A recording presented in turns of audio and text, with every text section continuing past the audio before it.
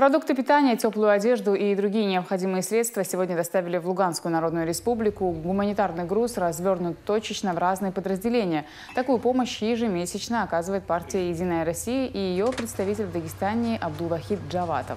Спасибо большое учащимся Каспийской гимназии за оказанную гуманитарную помощь. Она доставлена вовремя во второй армейский корпус.